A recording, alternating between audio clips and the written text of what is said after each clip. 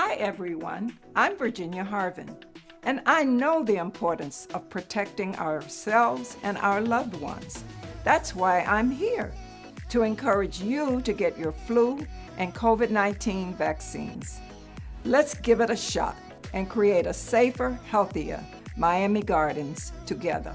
It's time to take charge of our health and well being. Join us!